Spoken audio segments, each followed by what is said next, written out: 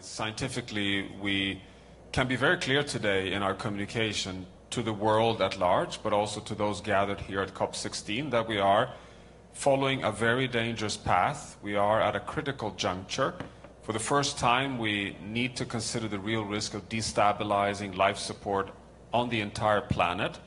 We're following, as you know, a pathway that will take us, in terms of global warming, to over 3 degrees Celsius over just the next 75 years.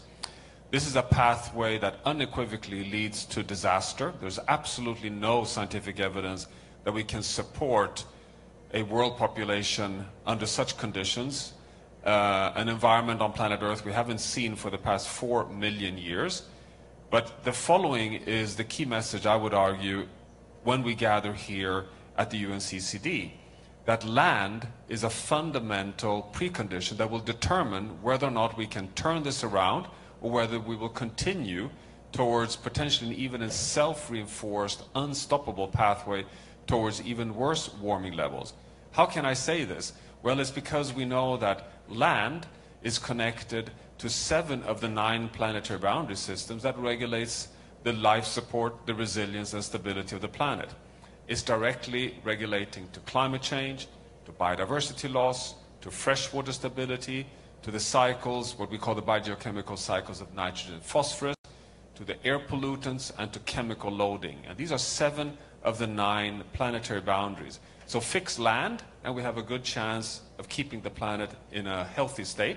If we continue losing, as Ibrahim Thiaw pointed out, if we continue losing one million square, square kilometers of healthy land each year, we'll be sliding even further down a negative path. Think of this also as if we're sitting on, on, a, on a balancing teeter, and the numbers are today at a very, very scary level. Because on one side of this teeter, we know that unsustainable land management, the way we manage agriculture, forestry, and land use, is the single largest emitter of greenhouse gases in the global economy roughly 23%, somewhere between 20 and 25% of emissions. On the other side of this balancing teeter, you have intact nature, which actually is absorbing roughly the same amount, in the order of 25% of carbon dioxide. So currently, we are at this point where the planet is just, just balancing between sliding in the wrong direction, but trying to help us to keep ourselves away from danger. But for every day we lose more intact land, we lose that capacity and the teeter starts falling over and we'll start sliding in the wrong direction. That's the biggest scare we have today. Of the six of the nine planetary boundaries that are breached, that are outside of the safe levels, all of them are connected to land. This is what we have shown in a report that we, was commissioned by the UNCCD, led by the Potsdam Institute for Climate Impact Research, and, and launched publicly here in Riyadh today. We'll have a, an official side event on Wednesday on this.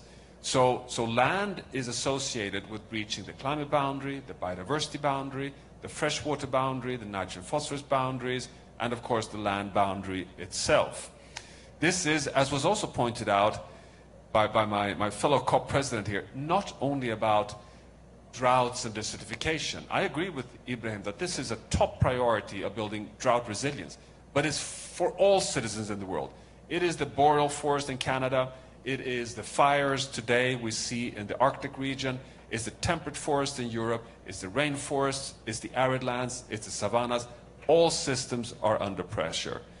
This report, to close, focuses on transformation pathways. What are the solutions? What can we do in terms of policies in meetings like this. It is about stopping the expansion of agriculture and infrastructure into intact land. That's, that's like the first step to take. No more expansion.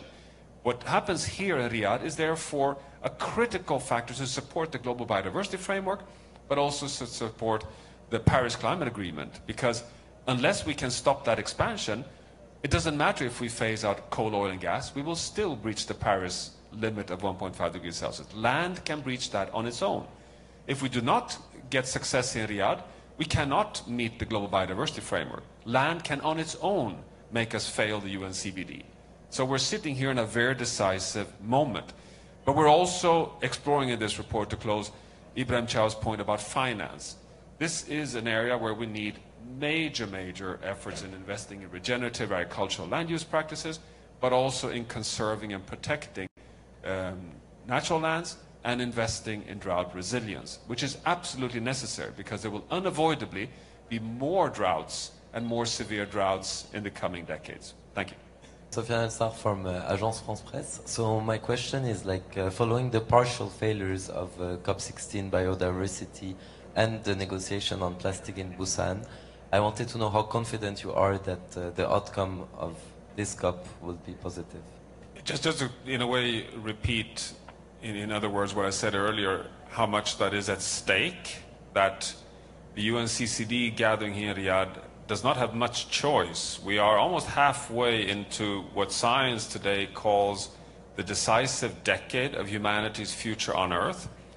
That sounds very dramatic. It's not as if we must solve everything by 2030, but we must bend the curves and we must be decisively on our way back to a safe landing. And so far, we're not making any progress. And correct, the CBD meeting in Cali did not make the, the progress we had expected the plastic discussions neither. I would even argue that uh, Azerbaijan did not deliver as we needed to see in terms of the transitioning away from fossil fuels and get decisive agreements on finance for climate action.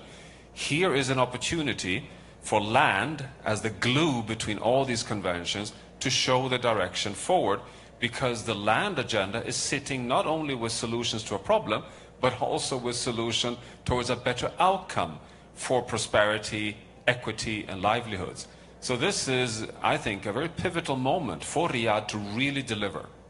Uh, Professor Rockström, uh, anything in particular on the atmospheric water generation that uh, you might uh, have an opinion on? For every one degree Celsius of warming, we add physically 7% moisture holding capacity in the atmosphere. So more warming, we power up the hydrological cycle, we get more rainfall, that could sound like a good uh, message, but unfortunately it leads to just more extremes. More extreme downpours, more droughts, more floods.